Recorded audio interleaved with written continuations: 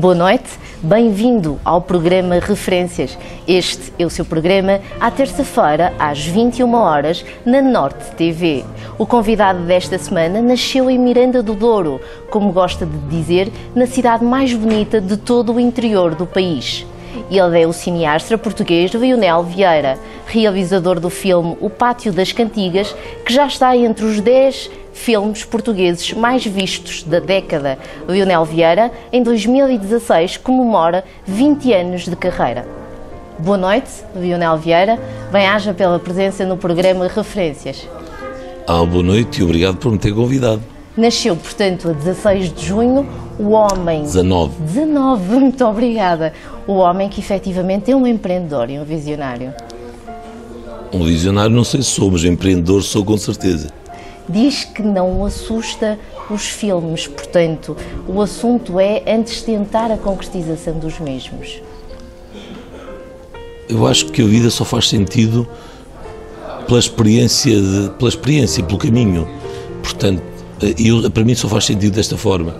Portanto, se o caminho é que faz sentido, não pode existir medo para, para esse percurso. Portanto, eu não, eu não penso no fim, eu, eu penso no percurso. E, e, a vida para mim só faz sentido uh, vivendo a vida. E eu, eu faço isso a todos os níveis, seja nas viagens de turismo para conhecer o mundo, seja nas viagens de descoberta pelos projetos, ou seja na, na invenção de projetos. Eu, eu não, eu, para mim não é estranho, para mim é normal. Uh, percebe? Não, não, não vejo o mundo de outra forma, não consigo entender o mundo de outra forma. Como, como se define? Quem é o Lionel Vieira? Hum, não sei, não, não, não, não perco tempo, não perco tempo para encontrar um, um relatório, um sumário para me definir. Não, não, não, aliás, acho que prefiro que as outras pessoas me definam. É como eu dizia sempre sobre a arte. Acho que são os outros que têm que dizer se nós somos autores ou criativos ou artistas. Não somos nós que nos podemos uh, auto-intitular. E, e por essa mesma razão acho que eu não acho que eu não, não tenho condição para me definir ou para me autodefinir, não, não tenho. Este mirandês foi pauliteiro? Não, não, não, mas, não, sabe, mas é assim, não porque, porque não calhou, porque muita, muitos jovens iam para. Havia muitos cursos de pauliteiros e muitas associações de pauliteiros. E, mas é engraçado, na minha geração, nós não achávamos muita graça aquilo. Achávamos aquilo apenas folclore, não achávamos de facto muita graça. Acho que éramos uma, uma geração meio rebelde que achava aquilo completamente fora do tempo.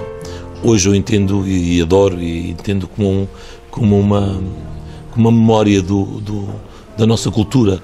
Hoje eu faço muitas vezes questão de dizer que eu sou celta que eu sou um guerreiro celta. Eu, eu assim, muitas vezes assim, não brinquem comigo, não percebem que eu sou um guerreiro celta. E, e isso tem muito a ver com os pauliteiros. Aqui, toda aquela fardamento dos pauliteiros tem a ver com os celtas. Ou seja, é por isso a, a semelhança entre, entre os povos do norte da Inglaterra e o norte de, de Portugal. Eh, está precisamente naquilo nos Celts na, e isso, isso porque foi, foram duas regiões povoadas pelos povos celtas. Agora, não calhou, não calhou. Eu não, eu não, sou, eu não sou fundamentalista de nada. Sim. Não sou fundamentalista de nada e portanto não calhou. Mas é engraçado, a minha filha, que eu faço questão de, de, de, que ela passe muitas férias no Norte com os avós, com os tios, ela todos os verões passa 15 dias, parte das férias dela de verão, passa 15 dias no, em Trás os Montes. E, e eu lembro dos primeiros anos que ela já tinha alguma consciência, ela ficou fascinada a ver um desfile de pauliteiros, um desfile de pauliteiros lá numa, numa avenida, uma rua, que é a avenida, uma sim, avenida sim, principal sim, sim. de Douro. E quando ela chegou, as férias disse, papá, papá, eu quero ser pauliteiro. Mas efetivamente é só o género masculino, não é? é, é. Não, não, também há um, há um, há um, há um, há um grupo sim, de, sim. de pauliteiras, tá há um bem, grupo de pauliteiras, tá há. mas não é normal, mas há, mas é uma coisa mais recente. Já ouvi. Porque aquilo é uma dança guerreira de homens. Exatamente, portanto, é uma dança guerreira. Predominante o género masculino. Já ouvi dizer, portanto, que o avô era um cantador de histórias. Estas mesmas histórias canalizou-as para os filmes? Em algum momento? Não, algum momento, eu acho que em todos os momentos, em ou todos. seja, eu acho que em todos os momentos, assim, há coisas que são, que são o nosso contágio e nós nem nos apercebemos que elas estão em nós, porque elas são contágio, elas estão sem nós queremos, sem termos consciência, e sem querermos que elas estejam ou não. O meu avô era uma pessoa fantástica, que lia, que, que era bom conversador, que era uma pessoa que gostava muito de conviver com amigos. A casa dele, a casa do meu avô sempre foi um ponto de recepção, de amizade, de pessoas, todas as pessoas que apareciam em casa do meu avô, todas as pessoas, as pessoas sabiam, Exatamente. produzia vinho, as pessoas iam lá e iam, era uma coisa normal. Portanto, essa tradição de relação, de relações públicas, de relacionamento com a, com a comunidade, acho que nós herdámos isto. E acho que eu e os meus irmãos mais velhos, principalmente, herdámos isto, este lado. Daí eu transformá-lo em. Eu acho, por exemplo, eu acho que o meu irmão mais velho é um bom contador de histórias. Sim. É, é, não tenho dúvida. É um grande caçador e um grande contador de histórias, tal como o meu. E daí eu ser, transformar isso uh, numa numa tradição e, na, e na, no exercício da minha, da minha vida, do meu dia a dia, é, é só porque eu permito-me eu permito o luxo de eu fazer a minha vida e a minha subsistência contando histórias, trabalhando com histórias. Mas nunca, nunca pensei, são coisas que para, para as pessoas que têm curiosidade em saber, mas para mim não existem fronteiras. Eu nunca pensei se para mim eu comecei ali ou, ou fechei além. Eu sou, eu continuo a ser o Lionel miúdo, que cresceu, que gosta de fazer o que já gostava, que vai amadurecendo, vai envelhecendo, que vai aprendendo, mas a história, eu acho que o ser humano adora contar histórias. Sim. Só que há, há seres humanos que não têm tanta vocação, mas adoram fazê-lo. É normal nós ouvirmos amigos contar anedotas e eles não têm qualquer condição para contar uma anedota. E no final da anedota nós não sorrimos porque a anedota não é contada com, com o equilíbrio que ela deve ser contada. Nós dizemos, ah, giro. Mas porque o ser humano gosta de contar. Sim, sim, sim. Nem todos têm a vocação ou as ferramentas emocionais e, e físicas para poder transformar a, a, a, essa, essa, essa, essa, coisa de contar uma história em algo que os outros percebam como algo fascinante. Porque depois isso é vocação, isso depois é genético, é, mas acho que o ser humano adora contar histórias. Acho que é, é das, das, das, das maiores condições básicas do ser humano é a tradição oral de contar histórias. Aliás, a herança cultural do ser humano começa por, por contar histórias. Exatamente. As pessoas passam de pais para filhos de uma forma eh, racional ou menos racional. A herança cultural faz-se a contar histórias. É As pessoas vão contando histórias, mesmo quando não têm, não têm noção que estão a contar histórias a civilização, com o passar dos séculos, começa a racionalizar isto e torna, e, e torna isto um, um, processo mais académico e, e, um processo de prateleiras. O ser, o ser humano está na, está na gênese. O ser humano é um, é um animal gregário. Sim. E tal como é um animal gregário, ele precisa de contar histórias. Porque é pela mesma razão. Exatamente. São é, uma, é, uma, é uma condição desta, desta, desta espécie de animais que nós somos, nós pertencemos, são condições naturais, é isso que nos faz diferente e é isso que nos dá identidade. Portanto, são coisas que nós levamos. Eu simplesmente tenho a sorte de fazer profissão disto. Exatamente. O sonho e o gosto pelo cinema eh, surge muito cedo. Portanto, na adolescência já ia à Salamanca adquirir algumas revistas que lhe alimentavam este sonho.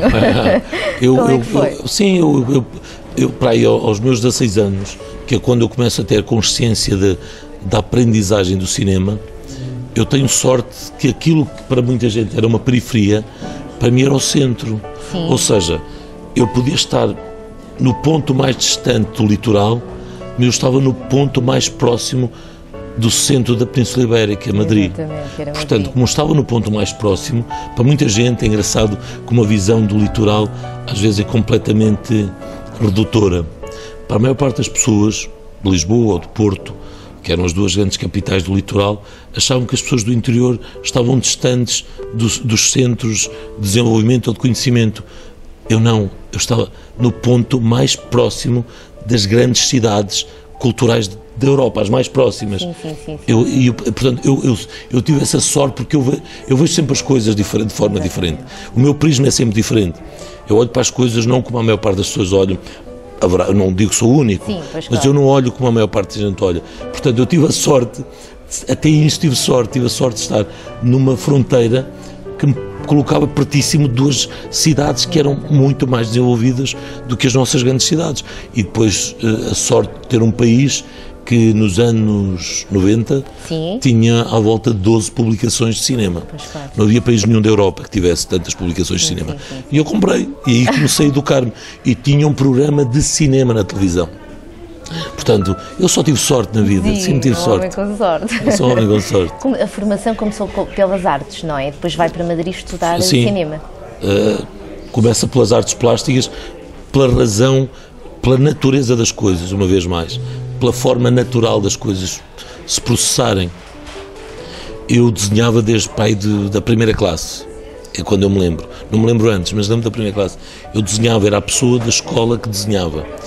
E lembro-me, pai, na terceira classe, eu já fazia exposições na escola, eu era, eu, eu era retirado nas épocas festivas de, da, da minha turma da escola e ia fazer desenhos painéis coletivos que faziam exposições. Sim, sim, sim. Portanto, essa coisa de ser o artista que expunha começou logo pai com 7 anos de idade, lembro perfeitamente. E eu ficava super feliz porque eu afastava-me da matemática, que era a coisa que mais me fascinava.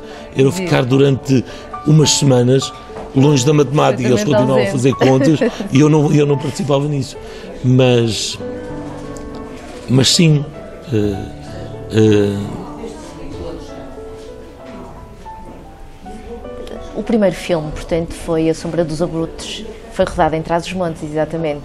Como é que... Porquê é que foi para Trás-os-Montes concretizar este, este filme? Uh, memórias, situações que efetivamente possa partilhar connosco? É engraçado que é... As, tudo tem curiosidade, se calhar as pessoas acham isso interessante. Sim, pois eu nunca acho muito Eu nunca acho muito interessante. Para mim as coisas são sempre muito simples. Têm uma, uma, uma ordem muito natural. Mas eu, quando acabei o curso de cinema em Madrid, eu comecei a escrever um guião do género do Zona J. Só que era uma história que se passava precisamente aqui no Porto, na Ribeira do Porto. E eu comecei a escrever esse guião, que era a minha primeira longa-metragem, e ao mesmo tempo começo a escrever um outro guião baseado na polícia política, na PID, que era uma história que me fascinava desde sempre. E eu queria escrever uma história sobre isso. Só que, pela natureza das coisas, que é o mais importante na vida, a história da PID sobrepõe-se à história do, dos adolescentes, sim. bairro negro, sim, sim, marginais do Porto. Porquê? Porque na vida, na maior parte das coisas, nós não somos conscientes. Pois claro. A, a consciência advém do nosso, do nosso desenvolvimento intelectual. Nós depois temos tendência a querer identificar tudo e racionalizar tudo. Então isso está-nos, começa-nos a dar uma consciência. Eu lembro até quando eu estudei na escola de arte, nas escolas de arte em que estudei, sim, sim, dos meus professores dizem, Leonel, a, a, arte tem a ver com, muito com uma coisa, com a tomada de consciência. A arte não é só o ato criativo em si, é a tomada de consciência, é o processo mental de tu saberes que estás a criar alguma obra e não só o facto espontâneo de tu seres criativo. Exatamente. E eu, ah, que coisa fantástica. Eu nunca pensei que as coisas fossem por aí. Portanto, eu, eu aquele filme nasceu porque se sobrepôs ao outro e eu escrevi-o e, e, quando acabei dei a ler algum, algumas pessoas que achavam interessantes, eles disseram que aquilo estava muito bem escrito e eu com a coragem que, que me reconheço sempre olhei para as cinco maiores produtoras de Lisboa e mandei o guião e passado 15 dias começaram a telefonar-me Portanto, foi um processo. Foi mais um sucesso, sim. Não, não sei se foi mais um sucesso, foi, foi o meu começo, foi. Para mim foi um sucesso, porque foi o começo que me abriu todas as portas, não é? mas não. Lionel, mas... enquanto eu preparava este momento, efetivamente eu, eu, estive a estudar e ouvir algumas entrevistas que o, que o Lionel vai potenciando. E, eh, e diz uma coisa muito interessante, que é quando Miranda do Douro era uma espécie de Andorra, vendia é. desenhos aos turistas. Quer-nos contar? Não, é, é, mais uma das é mais uma das minhas experiências de vida, ou seja, hum, e hoje entendo muito a cultura americana num certo sentido, que é as pessoas que os americanos mais valorizam profissionalmente são as pessoas que têm, os jovens que têm muitas experiências, muitas experiências, experiências de todos os níveis. Tu, para seres um grande profissional nos Estados Unidos, é valorizado se tu fores dos escuteiros, se tu fizeste serviço no McDonald's, se tu foste driver de um festival de cinema. Isso é muito importante. Sim. Eu hoje entendo o porquê e dou completo valor a isso. Eu, fiz, eu tive muita experiência, eu era curioso e fazia muitas coisas. Essa foi mais uma delas. Eu um dia, eu desenhava e adorava desenhar. Naquela época era uma coisa que hoje eu não desenho. Sim. É engraçado, eu não desenho há anos. Naquela época eu desenhava regularmente.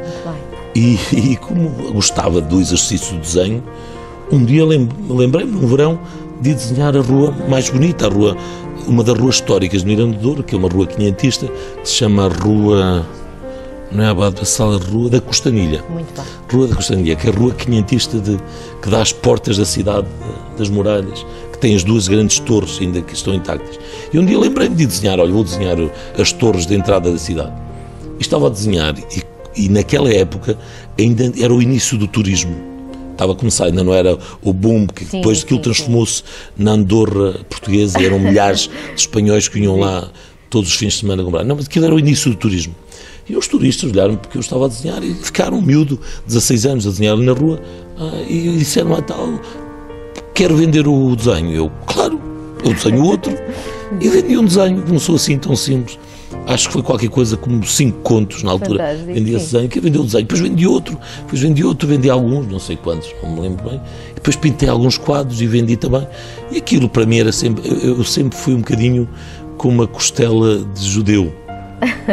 judeu no bom sentido, no, enquanto povo que gosta de, de, de produzir, comprar Sim. e vender. Eu sempre tive um bocadinho, acho que esse é o meu lado produtor. e, e eu e acabei por vender uns desenhos e aquilo serviam apenas para eu viajar para eu, eu, e o meu grupo de amigos íamos de férias. Sim. e portanto não, nunca fiz disso uma uma indústria. Eu nunca fui muito eu nunca fui muito dedicado enquanto jovem ao trabalho. Era um bocadinho era um bocadinho mais do da diversão do que do trabalho. Mas aquilo para mim era uma vocação que me dava algum dinheiro e que foi uma experiência durante pai, um ano ou dois. Que idade tinha quando foi para Madrid tinha 19 anos muito bem. E a família, como é que vê esta opção pelo cinema? Agora vê fantástico, ah, agora são todos. Aliás, o, o, meu pai, que, claro, os meus pais que me apoiaram e que me pagaram o curso em Madrid e que me pagaram os estudos no Porto, mas na altura, o meu pai não gosta que eu diga isto, porque ele dizia sempre, sempre te apoiei, é verdade, sempre me apoiaram. Mas ele tentou-me dissuadir que eu não estudasse cinema. Pois sim, é, episódios que agora não interessam. Sim. Mas algumas vezes o meu pai me tentou dissuadir, até dizendo: Este dinheiro fica todo para ti, tu não, não estudas cinema, porque eu fosse alguma fizesse um curso mais próximo da arquitetura. Mas eu nunca desisti, eu nunca, eu nunca achei que. Mas sempre me apoiaram, ou seja, na verdade, apesar, eles, eles, eles só me queriam era proteger. Claro. E eu entendo isso claramente. Eles achavam que um país que naquela época fazia quatro filmes por ano não tinha lugar para mais um realizador pois para trabalhar. Portanto, eles não queriam é que eu fosse uma pessoa sem profissão ou sem local para trabalhar, mas de facto fizeram o que tinham que fazer, que deixaram-me sempre estudar o que eu quis. Sim. Zona J e Bava Rose. Episódios. Já não me lembro, já foi há tantos Sim. anos. Eu olho para o Balé Rose e parece-me um projeto Repare que eu faço neste, no próximo ano, neste ano faço 20, 20 anos de carreira, já é muito tempo. A minha memória já não. Eu já não me lembro muito bem assim do Ballet Rose. O que é que eu me lembro do Ballet Rose? Um projeto que foi difícil, paralisámos algumas vezes o projeto sim. porque havia muitas pressões políticas. Pois, com certeza. Muitas pressões sim. políticas para que o projeto não se fizesse. Eu não tinha bem bastante, eu não tinha nenhuma consciência na altura. Eu estava muito mais ligado a Madrid estava um ano em Portugal e, e não tinha consciência das pressões pois. do projeto. Eu simplesmente estava a fazer o meu projeto sim, sim, que me sim, pediram e entusiasmado. Mas. Uh, uh, agora lembro-me de uma história, mas não a posso contar. Não? Não. É um ator já faleceu, uma atriz, não, vou, não posso contar, por respeito a esse ator que já faleceu. Mas, acima de tudo, lembro de um projeto em que eu não tinha consciência do projeto que estava a fazer e do que ele representava politicamente e socialmente. Muito bem.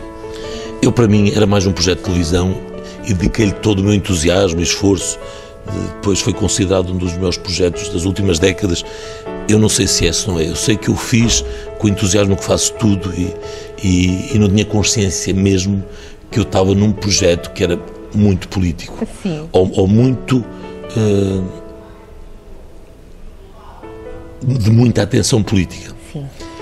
Depois, o Zona J. Não, o Zona J, sim, o Zona J é um projeto que me fascina porque vai de encontro a um cinema que naquela época estava a surgir em Espanha, que eram os, os filmes de, de, adolescentes, mas filmes meio neorrealistas, de histórias marginais, duras, E naquela época, quando eu faço Zona J, um ano ou dois antes, tinha, tinha aparecido um filme espanhol que teve um êxito brutal, que não me lembro do título agora.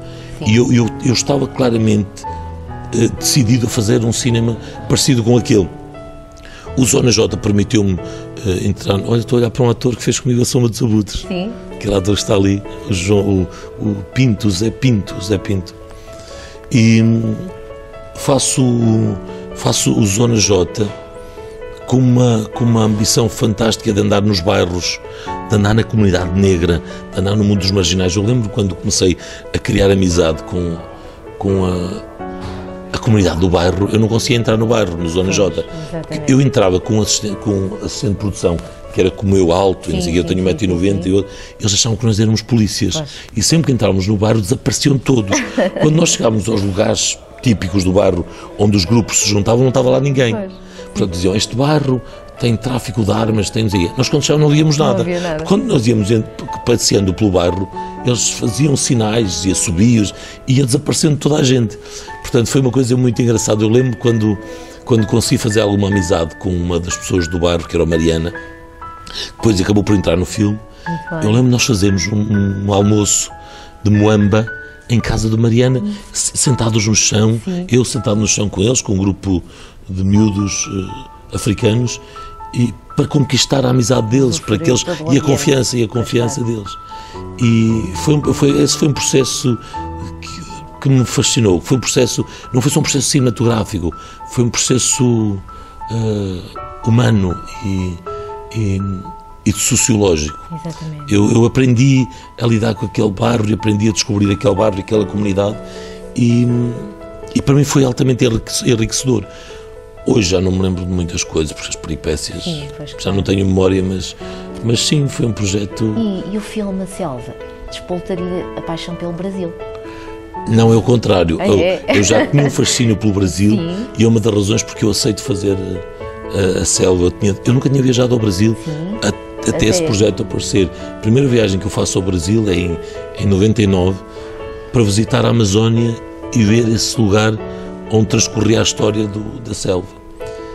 Agora, a verdade é que quando eu, quando eu aterro em, no Rio de Janeiro, antes de chegar a Manaus, sim, sim. eu percebi que eu nunca mais ia deixar aquele país. Sim. Lembro perfeitamente de dizer isso é ao, ao, meu velho Oscar, que é um, um, diretor de produção que ainda hoje está comigo lá na produtora, e eu disse: Oscar, eu nunca mais vou deixar este país, eu vou ser um filho desta terra. E, e, e a, a, Amazónia, sim, a selva, foi um, um projeto que me transformou como pessoa, como ser humano. Uh, eu ganhei alguma, ganhei uma, não sei se, se mais ou menos, mas ganhei uma dose de humildade na Terra e de aprendi a relativizar-me com o mundo, porque é uma coisa que o ser humano tem. O ser humano não se relativiza, tem uma noção uh, de omnipotência e de omnipresença e de, e de, e de eternidade muito estranho. E a Amazónia é um laboratório brutal para nos centrar e nos fazer perceber que nós apenas somos uma peça pequenina do mundo. E esse mundo é uma peça pequenina do universo. A Amazônia é o melhor lugar, melhor lugar para percebermos isto. E esse filme foi uma grande lição de vida. Eu, quando voltei da Amazónia, fui fazer outro filme, que era um policial, com o Joaquim Almeida, chamado Tiro no Escuro, e a minha equipa, que era a equipa que ficou em Portugal, dizia: o Leonel está mudado, o Leonel está muito diferente. Uh, com um filme pelo meio. Porque a Amazónia foi um, foi um processo, é o meu processo de paixão. Eu continuo a lembrar-me como a, a, história mais fascinante da minha vida de trabalho. E foi o processo mais difícil. Filmar na Amazónia, as pessoas não têm noção da dificuldade que é. Não têm mesmo noção. Eu entendo hoje porque é que as seguradoras não gostam de fazer seguros para os filmes na Amazónia. É muito difícil. Mas para mim foi o projeto mais enriquecedor que eu tive. Como pessoa, eu digo sempre foi a minha universidade do cinema, foi, foi o filme A Selva, foi um ser humano e ao mesmo tempo foi um, um, um dos períodos de maior felicidade da minha vida. Apesar de eu andar sempre rodeado de mil mosquitos. Sim. Estar com mil mosquitos todos os dias a acompanhar-me e ter tido muitas febres e, e, e, e andar com 160 pessoas no meio da selva, que era uma coisa sempre que eu dizia para ali, 160 pessoas tinham que se movimentar e era uma coisa doentia, porque eu dizia assim: eu apenas disse que o plano era para aquele lado e tinha que esperar uma hora, porque tinha que se mexer um circo inteiro. E eu disse, eu só queria filmar aquilo, porque é que te... mas a verdade é que andávamos com 160 pessoas numa equipa. Recentemente há um grande sucesso, que é o Pátio das Cantigas, um sucesso militar. Sim, um grande sucesso bilheteiro. Uh, o, que é que, o, o, que é que, o, o, que é que determina o sucesso do, da, da, nossa vida, o sucesso de um projeto? É, é, é a forma como nós encaramos o nosso objetivo. Uh, o sucesso é determinado só por isso, da forma como nós encaramos o nosso objetivo. De facto, eu quero que os meus filmes sejam vistos por muita gente. Eu tenho um respeito brutal pelo público, mas não é respeito de uma coisa só solene, é um respeito prático. É eu só faço os filmes porque quero contar para muita gente aquela história. E depois tenho um sentido prático na vida em que o cinema não é a mesma coisa que a pintura, nem que a escultura, não é uma arte individual. Ela é muito cara, como eu digo muitas vezes quando falo em escolas de cinema. Meninas, isto, quando é barato, a brincadeira começa com um milhão de euros. Quando isto é barato, a brincadeira começa com um milhão de euros. Na pintura não é bem assim.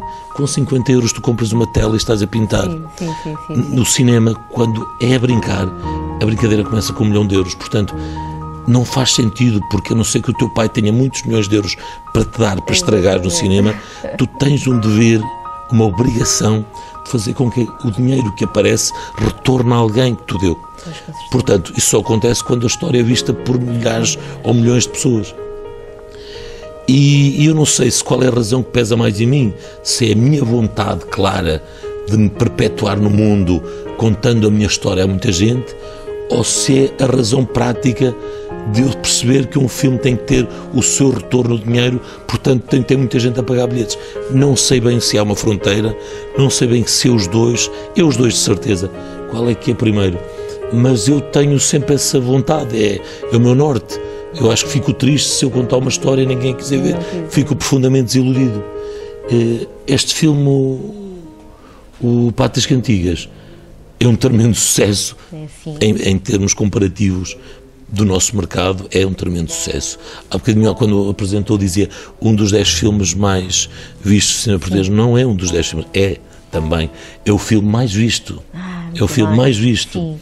Porque um dos dez podia ser o décimo. Sim. Não, é simplesmente o filme, o mais, visto. mais, visto. É o filme mais visto.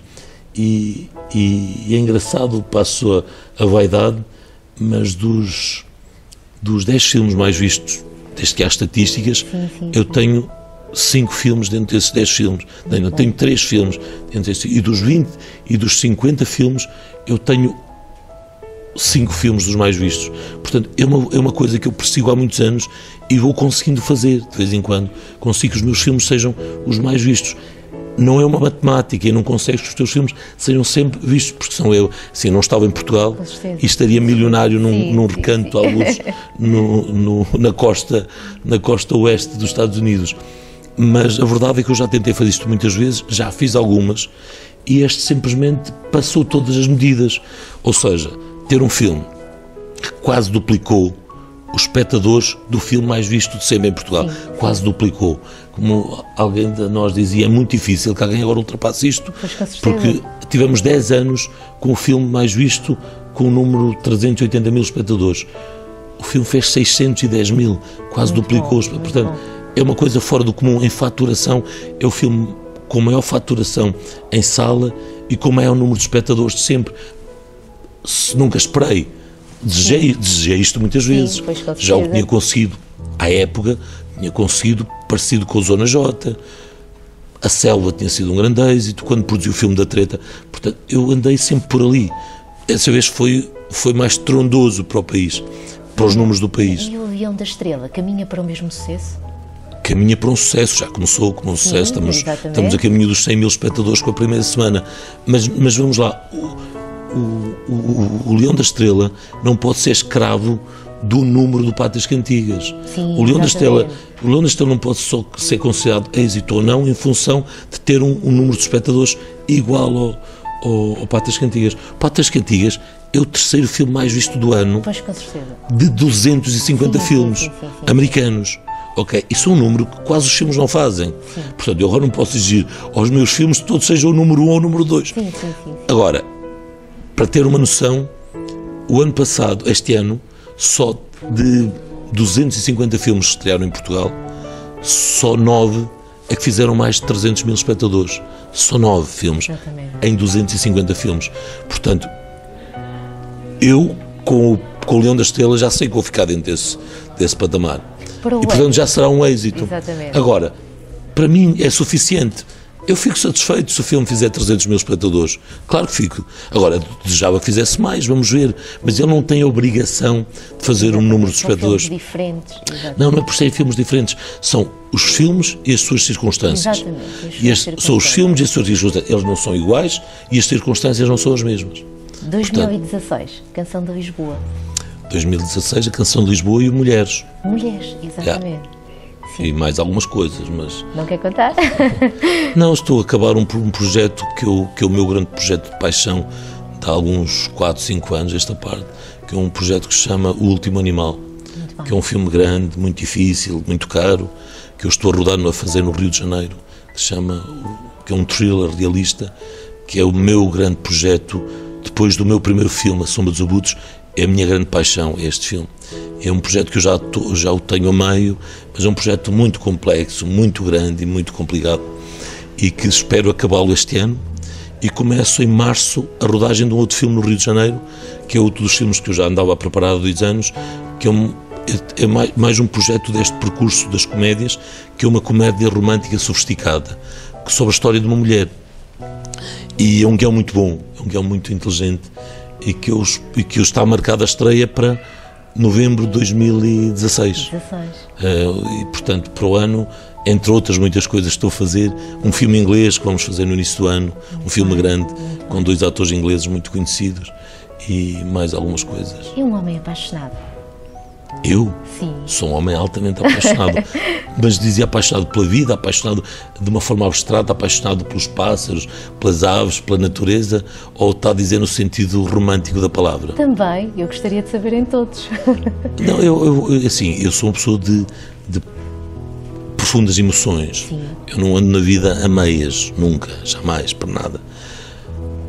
Sou, sou, acho que sou convictamente apaixonado pela arte. E sou, e sou adicto da, da vida. Acho que a vida é um, é um dever, é uma obrigação. Não a podemos menosprezar porque é uma coisa. As pessoas não têm consciência de quando estão a menosprezar a vida o que estão a dizer. Isto é a coisa mais fantástica que a natureza nos deu, é termos direito à vida. No sentido romântico da palavra, quando sou, eu sou brutalmente, quando sou apaixonado, sou brutalmente apaixonado. Mas não é fácil conquistar a, minha paixão. Aliás, como o resto, não é fácil conquistar. conquistar eu, eu sou, eu sou pessoa muito exigente. Eu sou pessoa muito exigente, mas não sou, não sou chato, nem, sou, nem acho que sou o melhor do mundo. Agora, sou exigente, muito exigente, ou seja, não, não me contento com coisas simples e básicas e superficiais. Não. Mas também não sou nada do outro mundo, sou uma pessoa, sou uma pessoa completamente normal. É um homem de sorriso fácil. Sou muito solicitado. Há pessoas que acham que eu sou. Eu tenho um apelido que é o comandante na- no mundo das filmagens.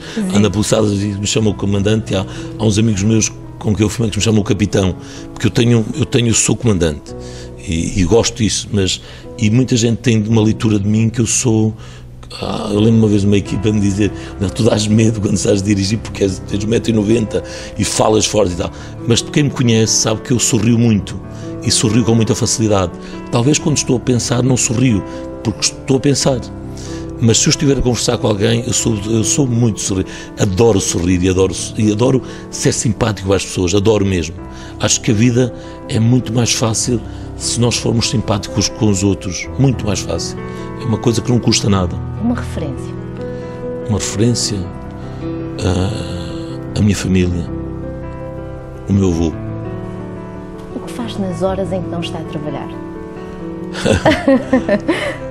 faço, faço aquelas coisas que são as mais simples da vida, que é adoro estar, estar parado a pensar. Tenho um prazer tremendo, acho um luxo ter tempo para pensar. Fazer nada. Pensar. Que Parece que não estás a fazer nada, estás a pensar. Sim. Eh, gosto muito de conversar com amigos. Adoro. Procuro recuperar isto, que era uma coisa que eu fazia muito há, antes de ser produtor. quando ser produtor, quando eu era realizador só, tinha uma vida muito mais tranquila. A vida de produtor, a vida é um bocado um inferno.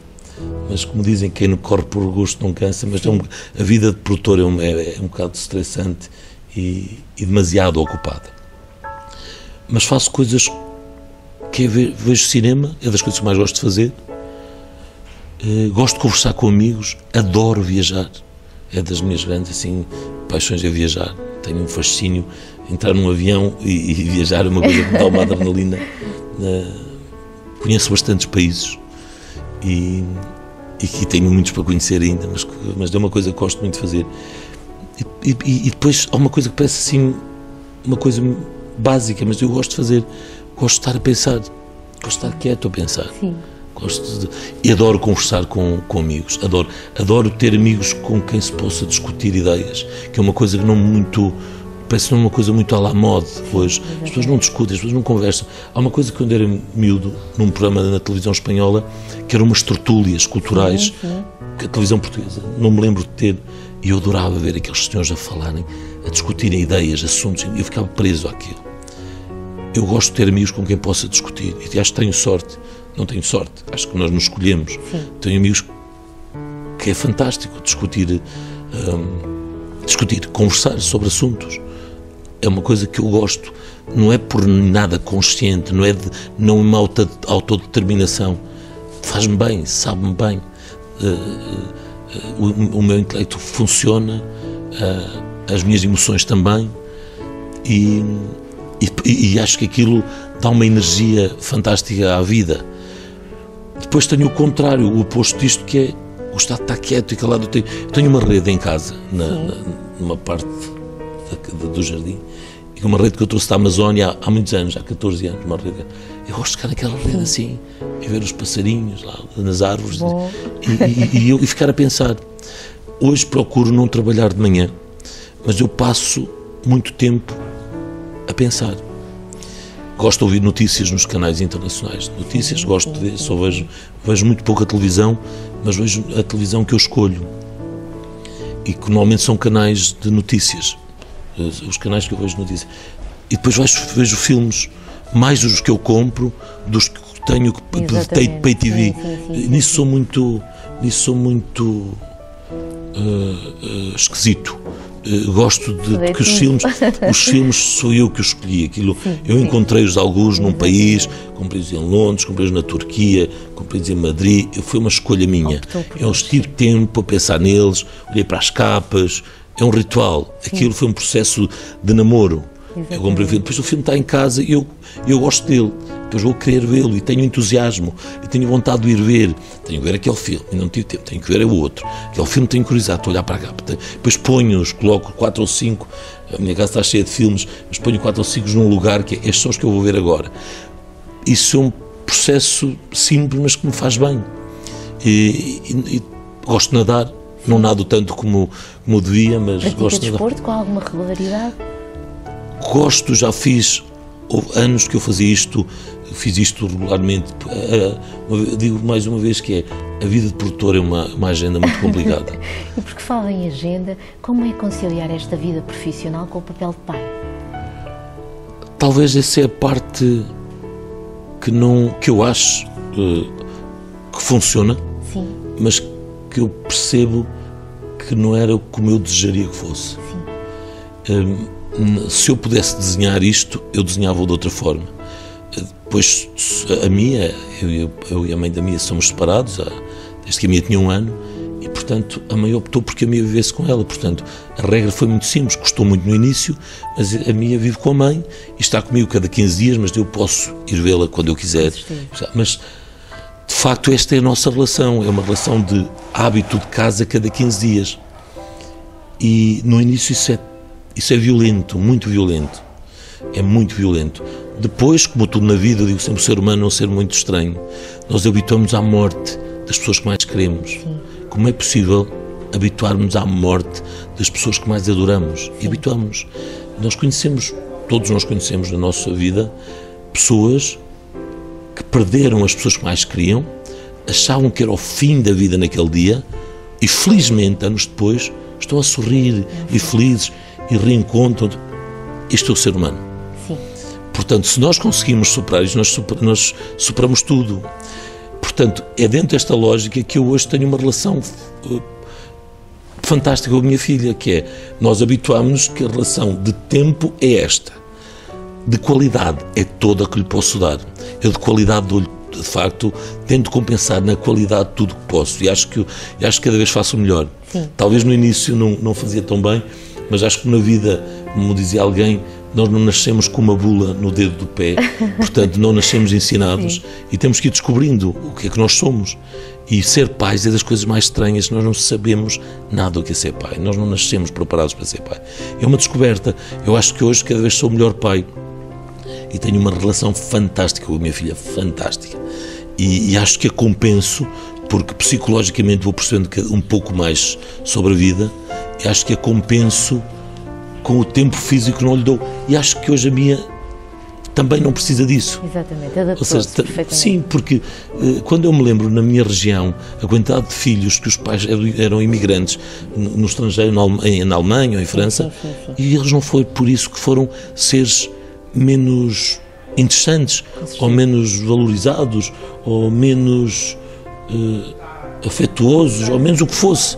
Não é o, formato ideal, Exatamente. mas não é por isso obrigatoriamente que tem que ser um erro. Não tem que ser um erro. O ser humano está preparado para Sim. crescer dentro de uma certa uh, anarquia, mas não lhe faltando tudo.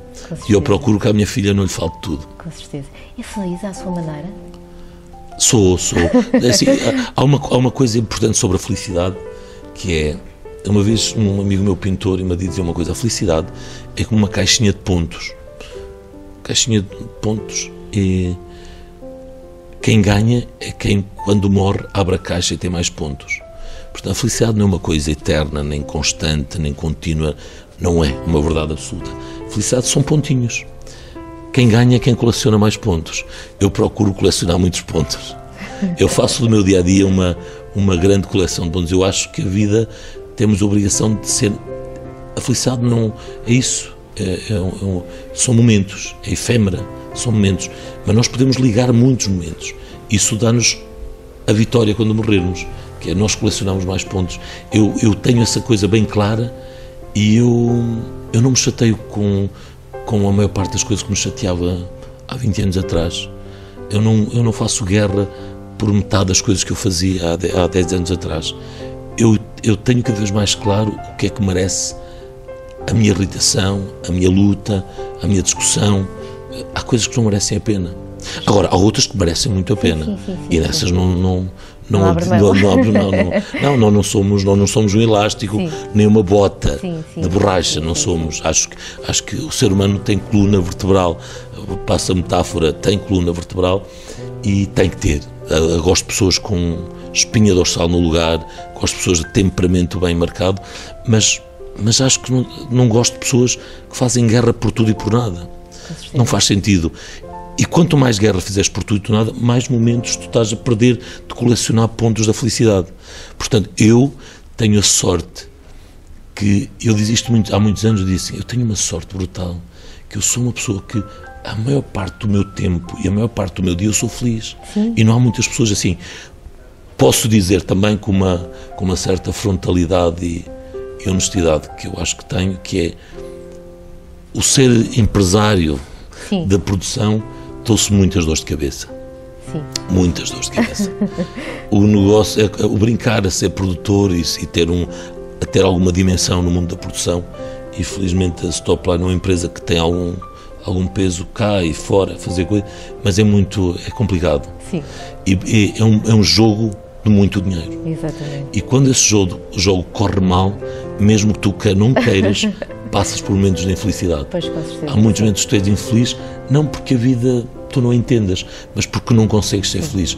Porque se és consequente com, com, com o teu entorno, tu não podes ficar feliz se achares que não tens dinheiro para pagar os salários a toda uma equipa. A toda gente. Portanto, isso trouxe-me alguns momentos de muita infelicidade. Cada dia, mas, mas, cada dia é novo e diferente? Para mim é. Essa é o, é, o grande eu digo sempre, o grande elado da minha profissão é que eu não, eu não faço um trabalho das nove às cinco e não faço todos os dias a mesma coisa, não mesmo. A minha vida é uma aventura diária. diária. Uh, a minha vida é uma aventura. Eu dizia ontem aos miúdos lá no Comic assim: eu sou pago, felizmente, e acho que bem pago comparado com, com o resto do país, para brincar às vidas que não existem. Sim. Eu invento todos as vidas. A nossa vida, na produtora, nós reunimos uma série de adultos Sim. para inventar coisas, inventar vidas. Agora, ela é pai, ela é polícia, outra é mãe, outra é filho. E o que é que ela faz? Nós é que inventamos aquela vida. Só que somos adultos a inventar vidas. E normalmente só às crianças é que lhe é permitido inventar vidas. E ainda ter a sorte de ganhar dinheiro para pagar as contas da nossa vida. É assim, é um privilégio. É um privilégio. O amor é? O amor é gostar dos outros. Quem lhe faz falta na vida? O meu avô, o meu avô materno, o único que eu conhecia, o meu avô materno. Gostaria de enviar um abraço a alguém? Ah, sim, à minha família, que gosto tanto e passo tanto tempo longe dela. Uma virtude marcante do Lionel Vieira? Ah, a minha, não, a minha prefiro, não, prefiro, prefiro não dizer. Vá, não fica com bem. Muito, não, não, mas não fica bem dizer a uma virtude. o que pede à vida para amanhã? A saúde. Apenas. Qual é a missão do Lionel? A missão é a minha vontade. E a minha vontade é fazer aquilo que cada, cada dia a minha cabeça sonha. É só isto. Não, não, não tenho um desígnio superior. É a minha vontade. A minha vontade é aquilo que se vai criando, é a minha vontade. A minha missão na vida é fazer a minha vontade. E a minha vontade relaciona-se com tudo que está à minha volta e, e, às vezes é condicionada por parâmetros. Há coisas que me impedem e eu tenho consciência que eu não quero fazer porque me impede. E há momentos que faço aquilo que os outros não querem, mas porque eu entendo que quero fazer aquilo que os outros não querem. Portanto, dentro desta dicotomia e deste quase paradoxo, aí dentro existe todos a minha vontade. A minha missão é a minha vontade. Quem gostaria de convidar para um jantar a dois? ah, quem? Eu, eu, quando sorri pensei noutra pessoa, mas quem gostaria? Ah, o Steven Spielberg. Ah! Vai. Como encara a morte? Tenho um medo brutal. Talvez a única coisa que eu tenho medo na vida. E eu digo sempre que eu sou uma pessoa que não tem medo de quase nada gosto tanto da vida que tenho medo da morte. Há pessoas que contam uma série de teorias, mas eu gosto desta coisa aqui. Eu gosto disto, de me sentir aqui e ver e me relacionar com. Há uma coisa na vida que é nós termos noção que somos finitos. E se nós temos noção, nós temos um pragmatismo que nos reduz a, a condição de matéria. Isso é, é, muito importante para andarmos com algum pé no chão. Depois, nunca podemos esquecer que temos uma coisa que é imaterial, que é o intelecto. E se não esquecemos as duas coisas, nós estamos sempre com um pezinho ligado ao chão e estamos sempre com o cérebro ligado às galáxias. Portanto, eu acho que as pessoas, por, por incrível que pareça, a maior parte das pessoas que eu conheço não têm nenhuma noção nem a outra. Sim. A sério, parece coisas tão simples. Pessoas bem mais simples, pessoas simples não têm noção. Acham-se, comportam-se como se não fossem morrer, como se fossem uh, perpetuar-se e fossem uh, omnipotentes. E, e por outro lado, comportam-se a nível humano e intelectual como se fosse uma cadeira, sem ter consciência que tem um, uma coisa imaterial aqui que nos pode projetar e fazer voar para mundos que, os outros, que a maior parte das cadeiras não pode. Com certeza que sim. Como gostaria de ser recordado?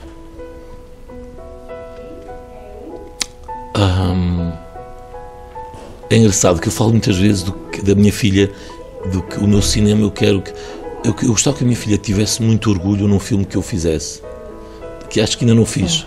E assim eu gostava que assim uma coisa brutal para mim isso é tal coisa de nos perpetuarmos neste mundo é tu morres e deixas algo teu aqui. E, e desde que tenho uma filha penso muito mais nela e, e digo sempre o que eu gostava que a minha filha tivesse um tremendo orgulho num filme que eu fizesse. Gostava de um dia, a sério, pensassem que foi um tipo correto e que tem, e apaixonado pelo cinema que deixou alguma coisa que valeu a pena a todos dentro do cinema. Ou seja, que deixa alguma coisa que valeu a pena. Que, que valeu a pena para os outros. Ou seja, o que eu deixei valeu a pena para os outros. gostava que, acho que de facto, que sem nenhuma humildade, é de facto que isso que eu acho que as pessoas que, que tentam trabalhar no mundo artístico querem. Querem perpetuar a sua vida através, através de uma obra. E, e, tiramos desta carga da palavra obra e não sei quê. Eu apenas faço filmes. É, é eu apenas faço filmes. E, mas gostava, gostava que, acima de tudo, que a minha filha tivesse um tremendo orgulho um dia em algum filme dos que eu venha a fazer. Quando terminarmos esta entrevista, vai ligar alguém especial? Não, acho que o hotel vou dormir. acho que o hotel dormir, dormir estou com, uma, estou, com, estou com uma vontade de dormir hoje que não. Ontem foi a noite, foi um bocadinho dura. Sim, mas está ótimo. Leonel Vieira, bem-aja por ter aceitado o convite. Chegamos ao fim. Foi um gosto imenso ele no programa Referências. Obrigado pela entrevista. Quanto a nós, até para a semana. Referências é o seu programa, à terça-feira, às 21 horas na Norte TV.